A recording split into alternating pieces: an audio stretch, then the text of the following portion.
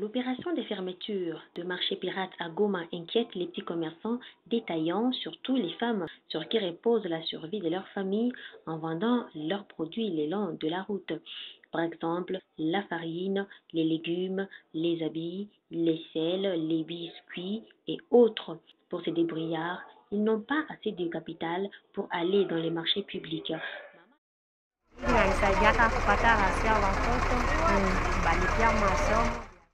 J'ai quatre enfants.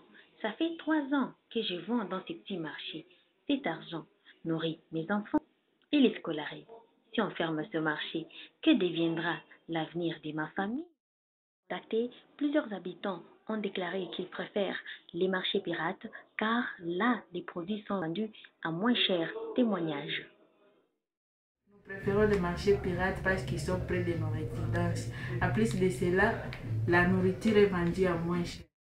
Ce sujet, le nouveau maire de Goma, Nasson Kubuya Ndole, a déclaré que tous les détaillants doivent s'installer dans le marché public avant la fête de Noël, car ce n'est pas n'importe quelle marchandise qu'on étale le long des routes.